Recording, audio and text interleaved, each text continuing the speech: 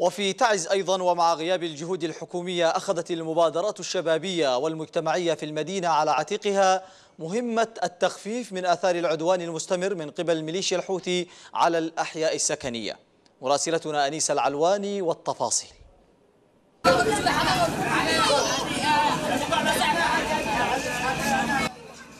مع تفاقم الحصار المفروض على مدينة تعز وشن الميليشيا حربها على المدينة ازدادت معاناة المواطنين يوما تلو الآخر. وهو الأمر الذي أدى إلى خلق مبادرات شبابية للتخفيف من وطأة المعاناة التي استنزفت الصغار والكبار. حملة الوفاء لتعز التي دشنت مشروع توزيع المياه استهدفت أربع مديريات بثلاثة وعشرين حملة. نسمع أي مكان في بومار إحنا.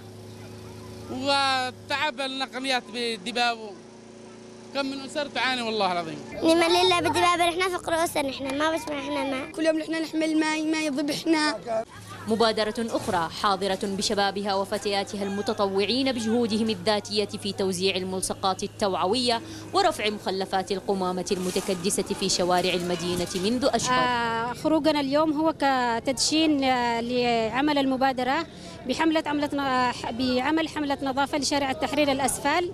آه كتدشين للمبادرة على أن يتم بعد ذلك آه تطوير الحملة لتنظيف بقية الحواري في محافظة تعز واحد يشغل في نفس المسار. مبادرة ثالثة تتفقد المحتاجين من الأسر المتضررة وتسعى لتلمس احتياجاتهم وتوزيع المواد الغذائية عليهم من قبل الخيرين في أحياء متفرقة من المدينة. تعمل المبادرات الشبابية كرافد اجتماعي هام في مقاومة من نوع آخر في ظل مساعي الميليشيا وقوات المخلوع صالح إذاقة أبناء هذه المحافظة المتآمر عليها ألوان العذاب.